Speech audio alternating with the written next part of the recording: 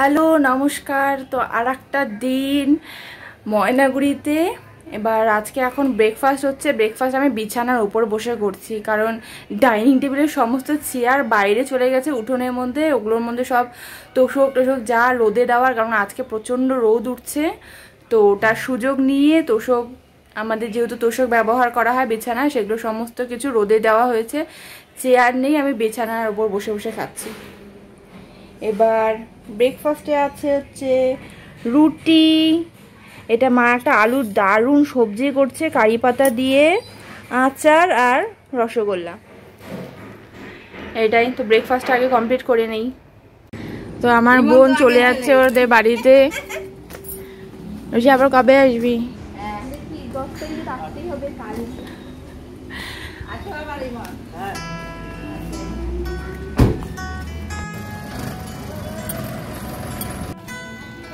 By.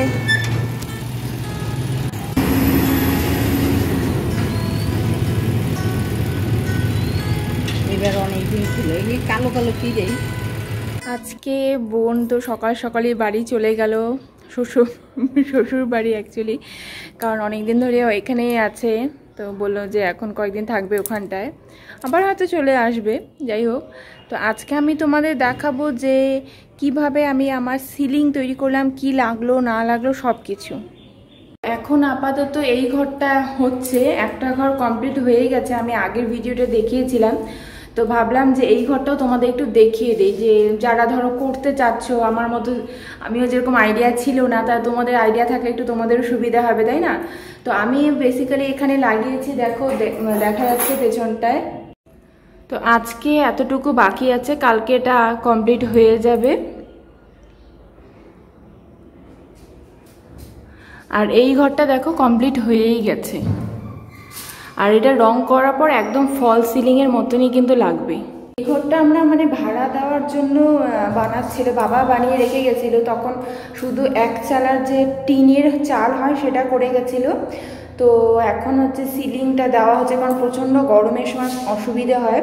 তো এখন যেহেতু ভাড়ার জন্য খুব একটা খরচা করতে চাচ্ছিলাম না আমি, সেই জন্য এইভাবে মানে মিস্ত্রির সাথে, কাঠ মিস্ত্রির সাথে কথা বলে যে কোনটা বেটার হবে, অথচ কম খরচে। তো ওনারাই বলল যে এসি শিট দিয়ে খুব ভালো হয়ে যায়। আর খরচা খুব একটা বলব হয়, হয়েছে বা হয়নি, সেটা পরে বোঝা যাবে। কাঠের যেরকম তোমার ধরো লেগে গেছে দুটা ঘর মিলে দশ হাজার, কারণ এই ঘরটা বড়, প্রচণ্ড, এটাই একটা মানে মনে করো এটা হচ্ছে দুটা ঘরের সমান। একটা ঘর আর একটা মোটামুটি ধরো তিনটা ঘর মিলে নর্মালি যেরকম ঘরগুলো হয়।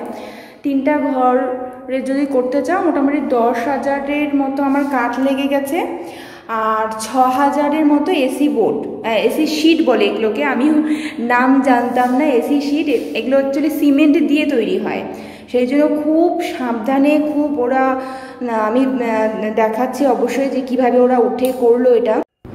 এটা হচ্ছে প্রথমে ওরা স্ট্রাকচারটা করে নিয়েছে কাঠের গোটাটা। এটা হচ্ছে এসি শিটগুলো, সিমেন্ট দিয়ে তৈরি যেটা বলছিলাম। আর এখানে হচ্ছে এসি শিটগুলোকে কাটা হচ্ছে ফ্যানের আংটার সাইজ অনুযায়ী। এবার দেখো এসি শিটগুলোকে কীভাবে ওঠাচ্ছে। এই জায়গাটা তো আমার প্রচণ্ড ভয় লাগছিল মানে ভাঙলে পরেই শেষ। গোটা বোর্ডটা নষ্ট, ওটা মানে কাজে লাগানো প্রায় অসম্ভব হয়ে দাঁড়ায়। তো এইভাবে একটা করে নিয়েছে ওটা টি আকৃতির মতো আর কি। কাঠ দিয়েই খুব সাবধানতার সাথে উঠিয়ে আর এসি শিটগুলো কিন্তু প্রচণ্ড ভারী হয়। মানে আমি চেষ্টা করছিলাম। এবার দেখো আংটা দিয়ে আর কি ওটা জাস্ট টেম্পোরারিভাবে লাগাচ্ছে। পরে টি তার যেটা আছে ধরে রেখেছে সেটা সরিয়ে আবার সেটাকে পিন দিয়ে, কাঠি বলে অ্যাকচুয়ালি কাঠি দিয়ে ওটা লাগিয়ে দেবে। একটু একটু করে লাগিয়ে নিচ্ছে এখন, আপাতত করে। এই যে দেখো, এখন টিটা সরিয়ে নিয়েছে, এখন যেখানে যেখানে দরকার হচ্ছে লাগিয়ে নিচ্ছে।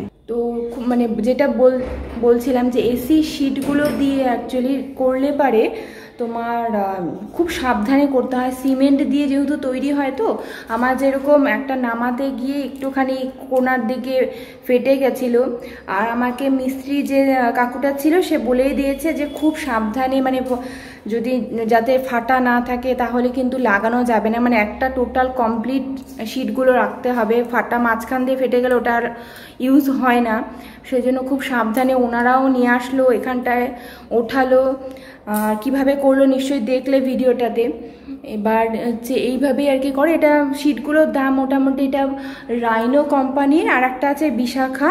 তবে রাইনোটাই সবাই বলে যে বেটার তো এটা মোটামুটি আমার তেত্রিশটা বোর্ডের মতো লেগেছিল। খুব এমন কিছু দাম হয় না এগুলো। মোটামুটি একশো পঁচাশির মতো দাম হয় এক একটা শিটের আর কাঠের যেরকম তোমরা বললাম, একটু কাঠের খরচ তো হবে। আমি টুন কাঠ ব্যবহার করেছি। টুন অথবা গামারি কাঠটাই লাগে। আর হচ্ছে অথবা তুমি তা আরও বেশি দামে যদি দিতে চাও, তাহলে আরও দাম দিয়ে দিতেই পারো। অবশ্য শাল কাঠ, তবে আমি আগেই বললাম, আমি বেশি খরচ করতে চাইনি এটাতে। আর এসি শীট দিয়ে শাল কাঠ দেওয়ার কোনো মানেই হয় না। তো টুন বা গামারি কাঠ মোটামুটি আমার দুটা ঘর মিলে দশ হাজার টাকার মতো লেগে গেছে। আর মিস্ত্রি যদি বলো, মোটামুটি দশ দিন ধরে ওরা কাজ করছে। কাঠের প্রথমে ধরো এই যে পেছনে যেরকম দেখছ, এই ফ্রেমগুলো বানালো, তারপরে বোর্ডগুলো, তারপরে ওই কিনার দিয়ে যেটা হয়, একটা ঘর তো কমপ্লিট হয়ে গেছে আর একটা এটা বাকি আছে। আর অল্প একটু একদিনেরই কাজ আছে। তো টোটাল কাল, আজ, কালকে মিলে দশ দিন কমপ্লিট হয়ে যাবে করা ওদের কাজ। তো খুব ভালো ওনারা কাজ করছে, একদম মানে এত সময় দিয়ে কাজ করছে, একদম চুপচাপ করে কন্টিনিউয়াস এত আমি দেখিনি।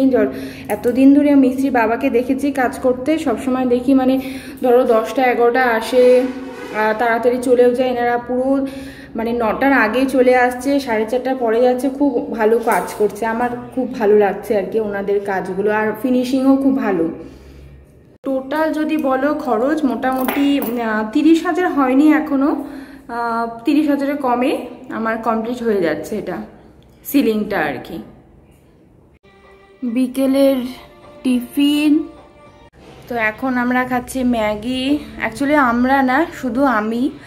কারণ আমি আর মা এখন একাই বসে আছি।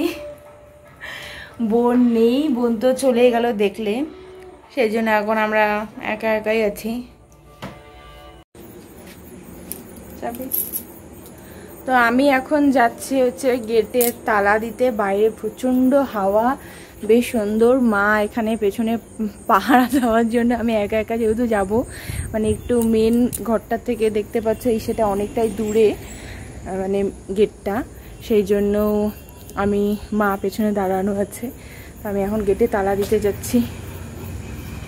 দারুণ সুন্দর ওয়েদার এই ওয়েদারে মানে যাই হোক, একটু এখানে দাঁড়াতে ইচ্ছা করছে। একটু দাঁড়াবো। আর ব্লগটা আমি এখানেই শেষ করব। যদি ভালো লাগে, অবশ্যই লাইক করবে। যদি খারাপ লাগে ডিসলাইক করবে। যারা প্রথমবার দেখছ, তারা সাবস্ক্রাইব করবে। আর যারা এতক্ষণ ধরে দেখলে, তাদের জন্য অনেক ধন্যবাদ। তো আজকের জন্য বাই